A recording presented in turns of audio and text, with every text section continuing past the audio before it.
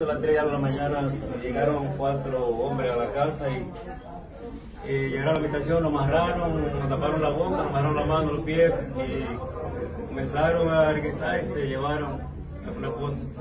¿Quién le llevaron? Llevaron dinero en efectivo, Mucho. dólares. Llevaron, sí. ¿Y, hubo agresión física? Sí, me abrieron la cabeza, me dieron con la pistola en la cabeza. Y dos tres golpes me con la cara. ¿Cuántas personas eran? Usted- Cuatro usted personas. Cuatro. ¿Y, y de qué manera penetraron? ¿Cómo entraron? Se metieron por la galería. Ok. Me dicen que, que su esposa pues, también fue maltratada. Eh, bueno, la- verbalmente sí, la eh, verbalmente, Agresión pero física. física no. Ok, le a usted. Sí, sí. ¿Cómo se llama?